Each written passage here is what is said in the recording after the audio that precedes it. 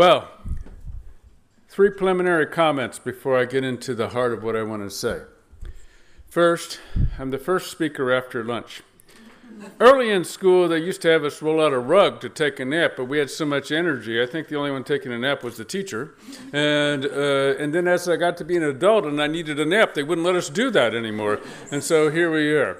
I recognize that uh, the, the speaking orders, so what I say is, is that I have some lovely photographs uh, as part of my presentation, and also sometimes I'm mildly entertaining, and if we're lucky, this will be one of those times. And so hopefully we'll keep your attention. Okay. The second disclaimer is, is I'm going to try to pack about three days worth of talk into 20 minutes, and so I know that I'm necessarily glossing over some key points. Hopefully that'll spur some questions as opposed to you thinking there are tremendous gaps in my knowledge. I can prove that later. And uh, the, uh, the and the third thing I want to say is is that uh, my wife and partner, whose picture I'll show you later, of 37 years, will ask me before we even get home from the airport did you inform them that you were severely hearing impaired? I do not want to face her wrath, uh, not after a long flight. And so, yes, I'm informing you of that. So, when we have questions and answers, uh, Nina is going to help me if I need translation. Don't hesitate to talk to me out here. It won't hurt you to repeat, and I'll eventually get it. And uh, if anything else, you can text it to me, and uh, we can have a nice, lovely conversation. With that, uh, what I want to say is, is that, um, which one of these does? Ah, okay. I arrived Sunday here at the idyllic grounds, and I uh, was uh, using my phone for affect regulation, as most people in modern society do, and I was reading the NBC News and note, uh, noted the headline right away Vaccine Skeptic Message Gets Bolder. And it makes me realize uh, a couple of years ago, I was testifying before our state legislature and state commission because they were asking me to do a study dealing with adolescent sexual assault because our state has the dubious distinction of having one of the two highest rates in the country. And one of the things that I pointed out to them is, is that there are a lot of really good people with really good programs who are really committed to solving this particular problem. And if that all got the job done, I wouldn't be standing here talking to you today. And I would say the same thing about this. We, there are a lot of really good programs, there are a lot of really good people working really hard, and yet here they are getting bolder. And so that means not that we've done anything inadequate, it means we need to do more. And, that's, uh, and hopefully I can contribute to that conversation. So the issue there is to say, how do we talk with people, not at people, who speak from hesitancy or denial? And when I listened to people talk, and I saw some of the presentations this morning, and there were also some quotations related to that, you realize that you have some people who have a sense of conviction, a sense that they have the truth, the sense that they are right. And when you talk with them, uh, as if somehow they are not, because you're presenting facts. Of course, we know that simply debating the evidence or debunking myths are not always pathways to vaccine acceptance. In fact, I can give you plenty of reason why. What that's going to do is engender an argument with the person, and that argument is one that in the end you're going to lose, uh, if, if indeed you want them to get vaccinated. And so uh, the issue then is, is where do we go with that? So, um, this, uh, up to this point, we have heard a lot of great presentations with great information, and I've thoroughly enjoyed it. I believe in social marketing. I've been involved in social marketing campaigns, and there is a power to change there.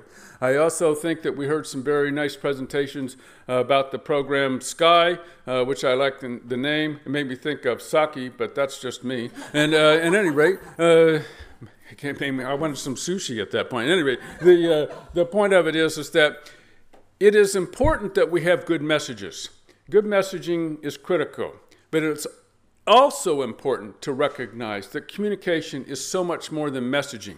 What I'm going to do is spend a few minutes talking about that because that gives the backdrop as to what we are doing with the AIMS approach. And so I want to, to meander a little bit, and then I promise I will get back to vaccines. It is important to realize that communication is more than just messaging. In fact, it is bioactive. That communication is a process that is a whole body experience that, uh, that, that plays a role in the biologies of all of us as we interact. Just some brief highlights. We know that communication, how we talk with each other, shapes, indeed creates neural pathways in the brain, so that brain structure is in part a function of human interaction. We change the human interaction due to neuroplasticity, we can literally change the brains of people. This is an important realization not only for how we raise infants, but also in terms of how we talk with each other, in terms of how we relate to the people in our environment. And I will spend some more time talking about that in a minute. Second, it is important to realize that communication impacts us at the epigenetic level. How genes function, whether they turn on or off, which impacts our ability to manifest or not genetic predispositions, is in part related to the communication that we engage in. And so that's not about the content of the message, it's about the very act of communicating itself that makes our genes function the way that, uh, that, that plays a part in the way our genes function the way they do. In fact, it can impact immune function.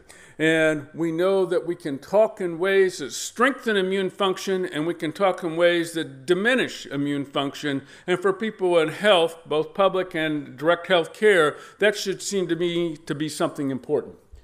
We know, for example, that the expression of positive emotions, I'm not talking about feeling positive emotions, but the expression of positive emotions, the facial expressions that we have, has been correlated in research with coronary vascular disease. And so we can actually train people to engage in different facial expressions, which can actually impact their susceptibility to coronary, to, to CVD. And It'll probably come as no surprise to you. I, I, am, after all, a professor of women's studies, that that correlation is much higher amongst men than it is amongst women. Just saying. Okay, now, the, uh, but, and we've also found, for example, when healthcare providers establish empathic connections, it can actually shorten illness duration in their patients.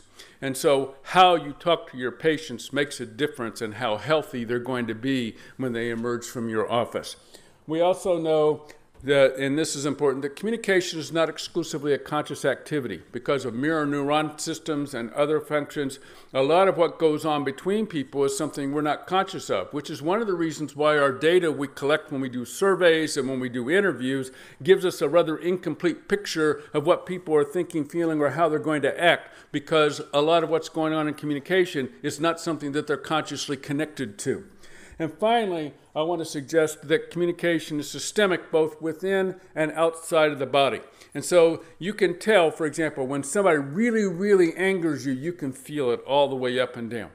Just as when somebody says something to you that brings you great joy, you can feel it all up and down. That's causing biological change we can use that knowledge of biological change to improve the way we interact with each other, particularly but not exclusively in face to face interaction. I mean, this is part of what is behind our uh, uh AIMS approach. And so when we communicate, we recognize that how we communicate is more important to our health than what we have to say. So the message is important, but if we don't, if we only focus on that, we lose sight of that which is making, is critically shaping what is going on. So one of the questions that I often teach people is, do you want to be right or do you want to be effective? Do you want to argue until you win or do you want to be effective in accomplishing what you want to accomplish? And so if we want to deal with vaccine hesitancy in an effective way, what we're not going to do is debate. What we're going to do is to create a situation that focuses on building trust, on building receptivity to a message, and then we're much more likely to succeed. And I'll give some evidence of that in a moment. I have some non vaccine uh, situations I want to talk about to indicate where we've used this particular approach. And part I want to talk about the trainability, but I also want to highlight two critical points that undergird the AIMS approach. We currently, that's the other Parrish Sprowl doing the training there, so I have to give her a shout out. There's only two of us on the planet, and so it would be remiss if I didn't point her out. At any rate, uh, we're working with the largest provider of primary health care services to refugees in Jordan. And in that particular situation, we're we've been piloting in a clinic for a year and a half, trying to infuse mental health and psychosocial support in terms of in what they do. And it's predicated on this, this notion of communication. And so what we did is provide uh, early on three hours of training uh, uh, to people to think about communication in this particular context. And what we're do- and so in that particular situation, what we do is recognize first that we're talking about the process of communication, not a message, but the conversation itself. I say something to you, you say something to me, I say something to you, and we have the nonverbal going on all the time, but there's a conversation, and any given message is embedded in that total stream. And what we tell the, what we try to teach is, is that the way that conversation works is important. And let me give an example of that.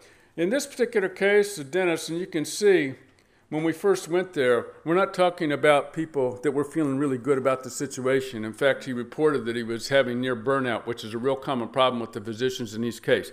One of the physicians we talked to saw from 9 in the morning until 4 in the afternoon 86 patients. It's astronomical. It's no wonder that they burn out. And so we worry about secondary stress. But communication's mutual, so we can serve both them and the refugees simultaneously. So we gave them some dental supplies so that they could have conversations with children. And you can see, we're not talking about a lot of smiling there either at the beginning. And they're giving them some oral hygiene instruction. Could have been anything. This just happened to be an excuse. The content was irrelevant. But as they go through the training, now you can see we're getting some good positive affect here while we're watching him scrub the dinosaur's teeth. And then in the end, we see all kinds of smiles, and most importantly, him. And so what we're seeing here is the children getting better, they're having a good vibration, the doctor's getting better, and we're creating a better circumstance. Perhaps even better, this is in his words, and so I didn't, it's a dense text, but this is a story from the dentist. Uh, he said, I once had a patient who required a surgical extraction of a tooth, but they had an infection, so I gave him an antibiotic and told him to come back in a week. After a week, he came back and I told him he has to wait for another week until the infection cleared out. He was so upset to hear that, especially because he was in pain, and he started yelling at my face. From inside, I felt aggravated to say the least, and I wanted to defend myself because the patient was not respectful and rude. But then I remembered that the training about trauma and how it affects patients' brains, and I made a decision to calm myself. So I took a deep breath and sat down and asked the patient to sit down. After he started to calm down, I then explained to him slowly why it is bad to do the surgery if the infection is still there and how the side effects can be worse. He eventually agreed to come back after another week. He came back and did the surgery and he left the clinic. Two weeks after the patient came back to the clinic, when he saw me, he grabbed my hand and bowed down to kiss it. I was shocked and told him why. And he said, You understood my pain and you were patient with me. You contained me and helped me even through I was rude. Thank you. If I had not calmed down and breathed, that poor guy would have left our clinic upset, in pain, and would not have come back and would have not had the means to pay for a private dentist in the surgery.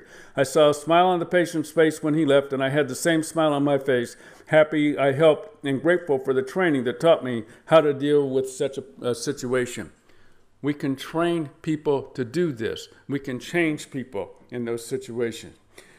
Second aspect of this, aside from process of communication, is helping people feel felt that you understand them from their point of view. And we'll relate that to hesitancy in a moment. In this particular case, a person asked us to interview him. He saw us, we were in a clinic uh, near the Syrian border. And in the end, he thanked us for listening to his story. He wanted to be heard, he wanted to be felt. And when we did that, it mattered. We can do this in other contexts as well. So when I teach a class, know, and, and I have a student. These are uh, screenshots of Facebook, but she points out I would not, I would never have uh, thought that I was. Um, I can't read that. You probably can. Bad angle here. At any rate, we'll try this. I would have never thought that I could take on the world, but it showed me just how capable I am. She felt felt, and that made a difference for her. Another example of that is when she says, I find my, uh, she says, after each conversation, I find myself thirsting for knowledge. I am looking forward to our conversations regarding CMM and my future, which is a particular communication theory. The importance of that is, is both of these students saw themselves as dead end. Now one's in graduate school, the other's going to graduate school. And it's not because of what I taught in the class, it's because they felt, felt. And that is the key thing, and to recognize that communication does that. So, the process of communication how do we get there from here? In one other example, we did a pilot program in uh, Sierra Leone during the Ebola virus outbreak where we took these same principles and an independent research firm looked at initial interactions. And one of the things I point out here from the uh, villagers viewed communities' frontline staff as benefiting financially from the Ebola outbreak, which always strikes me eerily like what people say about pharmaceutical companies, right? And then from the frontline training staff, they were frustrated with community resentment and mistrust. One day of training on these same basic things, and frontline staff were better able to turn the situation opportunities into dialogue. Uh, they were better able to de escalate tense situations, and they actually ended up developing, engendering enough trust and felt compelled to go beyond the situation.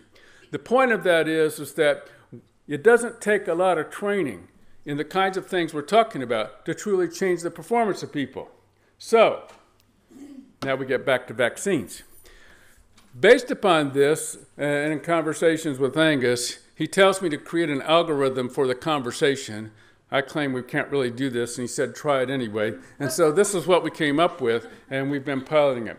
And the idea is AIMS methods for healthy conversations. It's not about the message, but about how the physician or the healthcare professional talks with the people. And so it starts with announce. And what we know from research is, is if you walk in and simply say, it's time to get your vaccines, most people will say yes. That's consistent with the data we saw last night. That's consistent with some of the data we saw this morning. Some people, however, will hesitate. Then, the first thing we should do is ask a question. It is the questions that control the situation, and it is the question that will give you the information that you need. Now, one of the things that I always point out is it's better to ask, it's better to ask how or what rather than why. If I ask you why you think something, I am asking you to create a rationale for what you're saying. Once you create a rationale, you will feel compelled to defend it, and it will never move you.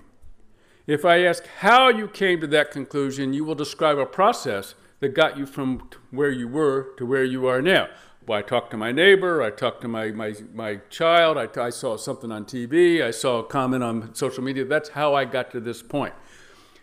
Though person is still movable because they haven't committed themselves to a position because they've only described how they got there. And so there's more we can say about which questions to ask, but that's important. Once we ask the questions, we need to listen, and we need to listen in a whole body way. And what we do is then we mirror.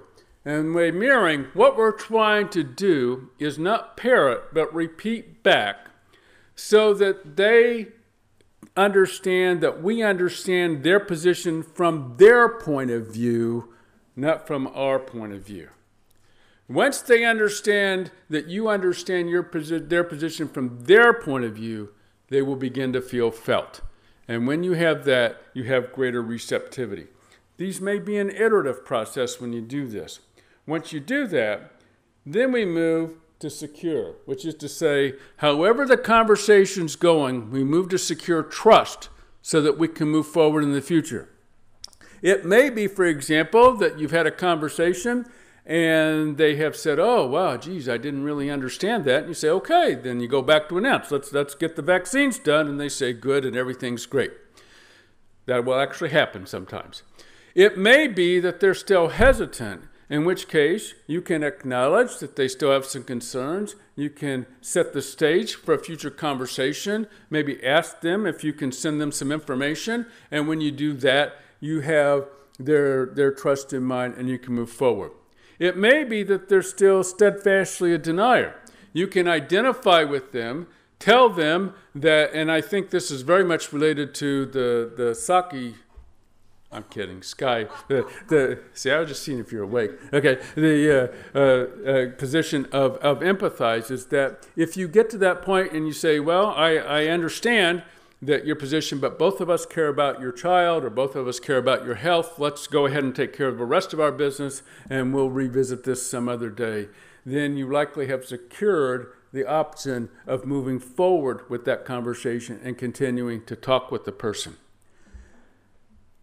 We're in the piloting phase of this, and so we, we uh, would be delighted with some questions. At the same time, I spent a lot of time giving the backdrop to let you know that there is good science on which this is built on, and that we have tested this in the sense in other settings and find that it works and I have every reason to believe it will work well with vaccine hesitancy as well. So, in relate to the question this morning of how does this relate to other platforms, I think that becomes fairly obvious in that particular sense.